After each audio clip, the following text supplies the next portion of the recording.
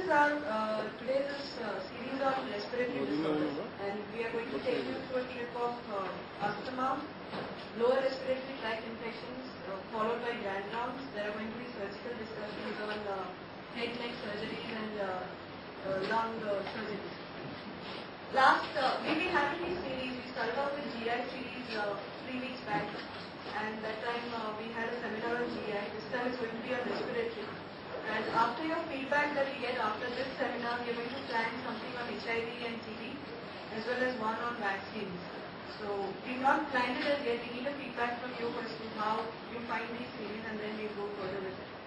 Now we are going to have a discussion on asthma, something which is very very common that we are seeing in our uh, country, and uh, we are going to be number one country for asthma.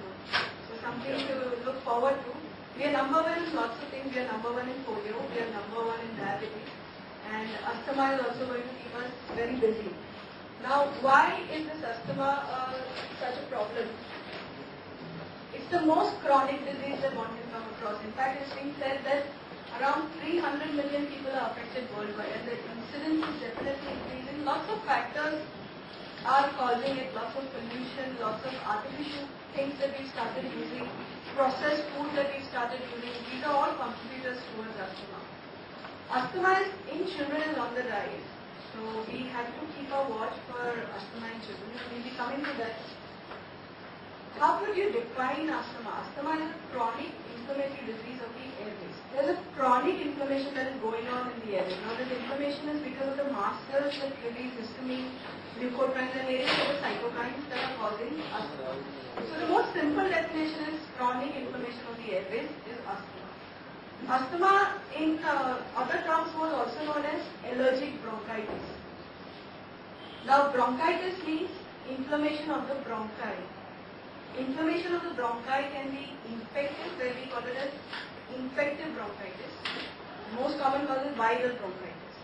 Or it can be allergy, where we call it as allergic bronchitis, or we label this child as asthma.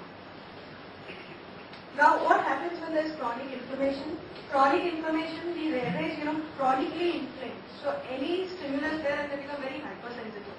So, they are very hyper-responsive. So, even one trigger, one small trigger, and they become hyper-responsive. And because of the hyper-responsiveness, these airways start narrowing. So, you get an obstruction. So, you get a narrow airway only in the bronchi, not in the trachea. If it had happened in the trachea, this child would have died not in the bronchioles. Okay, bronchioles are also not getting, it's only the bronchi. So when the trachea divides into two parts, the bronchi get. Now because of this bronchoconstriction, there is mucus secretion, there is inflammation, there is obstruction that is taking place. And when does this occur? In case with a chronically inflamed bronchi, why is the child not uh, having symptoms persistently? Why is the child getting attacks of asthma? These attacks occur because these chronic inflammation gets aggravated by certain triggers. Now what are these triggering factors? Triggers are your allergens. Common allergens in India, dust mite, cockroach. This is something we can't eradicate. If uh, children or parents tend to have animals, dogs or cats in the family, they, their fur can cause uh, allergic tendency. We nowadays get lots of these house cleaners that say one and the whole dust is removed and all that, no stains and all that, but those are chemicals which can trigger an asthmatic attack. Pains. Sometimes uh, children get, with the smell of the paint, they get an asthmatic attack. Children do not smoke, but if anyone in the family is smoking, and it's a secondary uh, passive smoking that is occurring, then tobacco smoke in itself trigger asthma. So when we counsel parents, we tell them nobody should smoke in front of the child. That is the most important thing. Carpets have to be vacuum cleaned. They should not have carpets because carpets are the area of dust mites. So they should ideally remove all carpets from the house. If they have carpets, then they to be vacuum cleaned. Any URI is a trigger for asthma. So any child, normally you get a child who's come with cough, cold, fever for one, two days and then suddenly have breathlessness. So this is a common uh, precipitating factor and obviously when we give NSAIDs or aspirin, including erythromycin, drugs like erythromycin can trigger asthma. So these are other factors that can trigger an asthma. some children tend to get asthma aggravated with exercise, so they can't do running exercises and all that. They get very breathless. Or stress is another factor that can cause this. So various causes of asthma. These are the various triggers. Obviously, there are lots of other triggers. And the most common thing that we tell our parents when we treat asthma is no outside food, no color in food, no preservative. So this when you tell them you are out with all your mithai which contain color, you are out with all medications that contain preservatives and color. So even when, even when you are uh, giving multivitamins, you have to make sure these multivitamins are color free. So there are certain medications that are available which are color free. Otherwise all your medications contain tartrazine as a color to give you that yellow color. So you have to make sure that all of them are color free. So when we treat them, we tell them no color, no preservatives. So no dabba milk, no outside food, no color food, no outside oil. Because oil is also reused oil. So no outside oil is another thing that they have to take care of. So remember these areas are chronically inflamed. They are chronically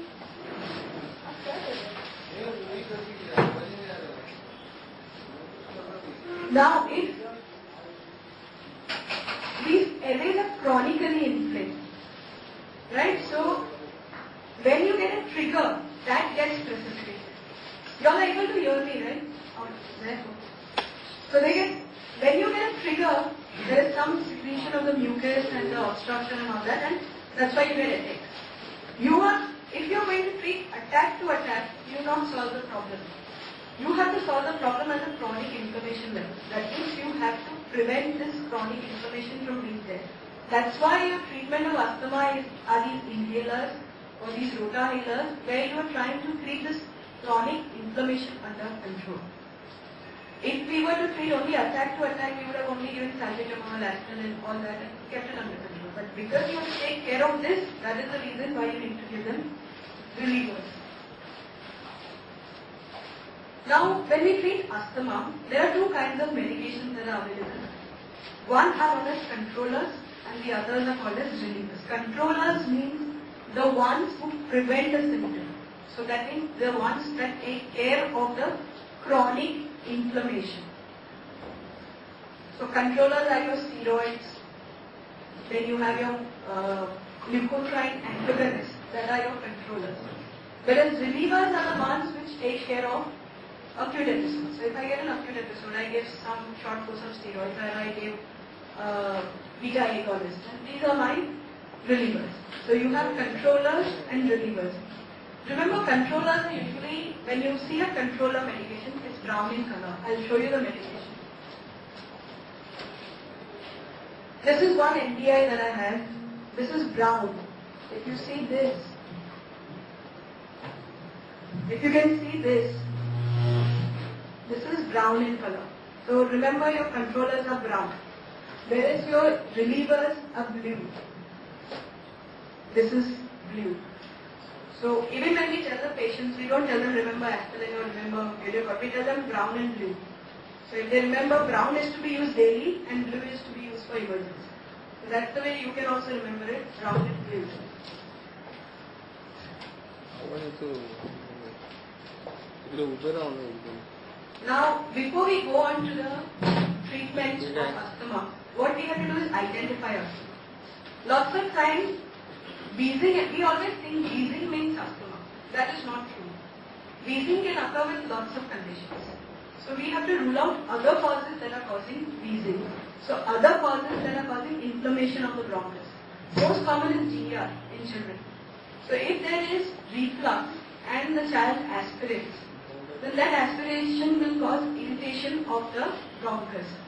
And that is why you may get wheezing episodes with GER. So if a child who has failure to thrive and recurrent wheezing, think of GER provided he is having episodes of recurrent vomiting. So in a child with recurrent vomiting and wheezing, think of GER, rule that out. How do you rule out GER? By doing a milk scan. That is a radionuclide scan. You give a radionuclide milk for the child to drink and you take scans over a period of time.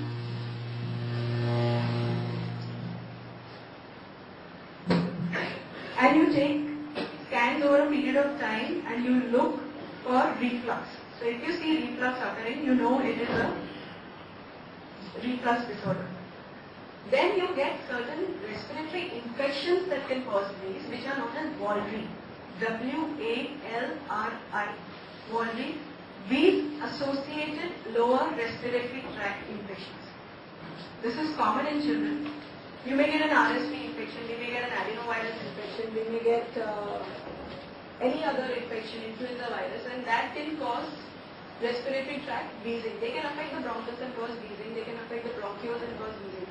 So not every is asthma. In fact, when you say if a child has got infection with a wheezing episode, don't think of asthma. If a child has at least three episodes of WALRI in a season, say summer season or winter season, then suspect asthma.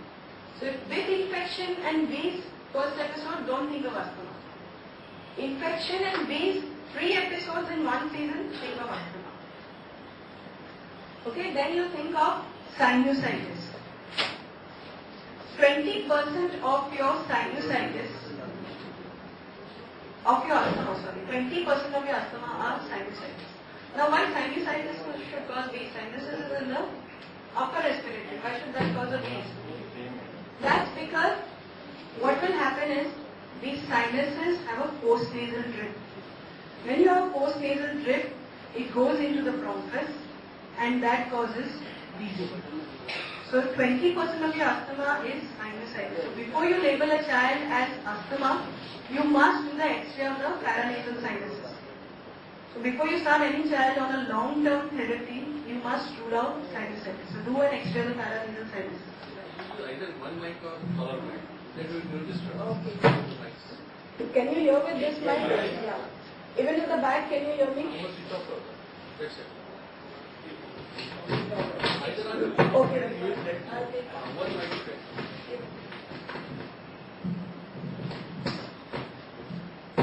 Can you hear with only this mic? Now the other thing is congenital. Now the other thing is congenital heart disease. That is a cause of cardiac wheezing, cardiac asthma. Why should congenital heart disease cause cardiac asthma? Is because pulmonary edema. So because there is pulmonary edema, these children tend to have wheezing episodes. So always hospitalize the child, make sure there is no murmur. So these are the things you must rule out before you start a child on any long-term therapy. Everyone followed that? Yes. Now, what is the diagnosis of asthma? When should you suspect asthma? Is it only wheezing? Yes, wheezing is one way that you will suspect asthma.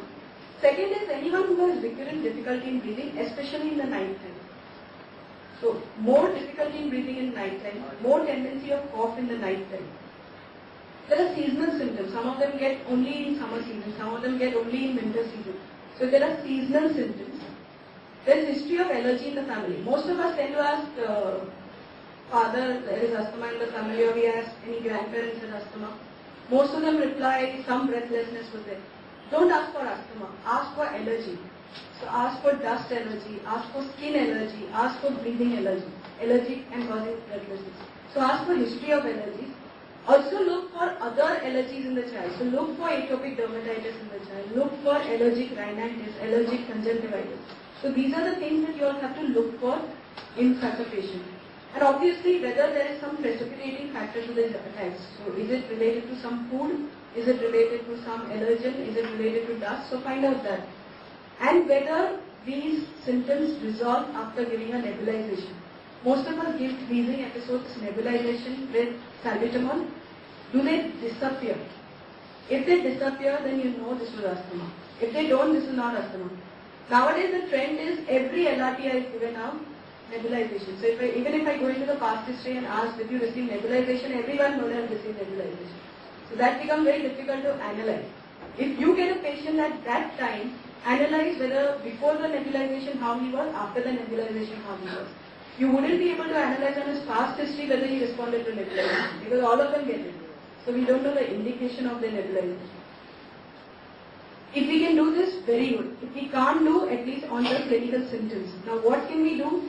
Look at spirometry. Spirometry cannot be done in children less than 8 years because you can't have that coordination in them. So less than 8 years, you won't be able to do spirometry. More than 8 years, if your FEV1 increases by 12% after a bronchodilator. If it increases, then you know this is asthma. Similarly, you have a peak flow meter. All of you all have seen a peak flow meter. I've not been able to get a peak flow meter, but it's an instrument where you give one powerful expiration. So you take a deep inspiration and then you just blow. And with one blow, how much ever you are able to blow out. So that's a peak flow meter.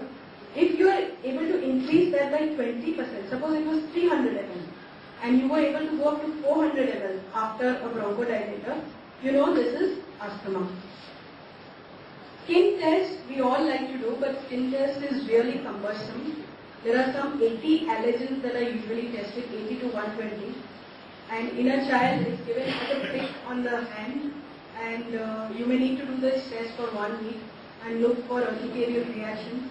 So it's not really something which is very feasible. Most of us will get allergies to something that we not even realize, like milk. If I get an allergy to milk, I can't stop milk in a child. So skin test usually you try to avoid unless you're very sure that there's some particular allergen that is precipitating and you want to stop that exposure to that allergen. Serum IgE levels. Now ideally you are supposed to do specific IgE levels. We are not able to do that in our setup. So we do total IgE levels in these children. But ideally you should do specific IgE levels. Now serum IgE levels are an indicator